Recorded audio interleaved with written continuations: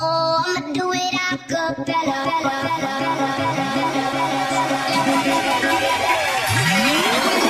Acapella.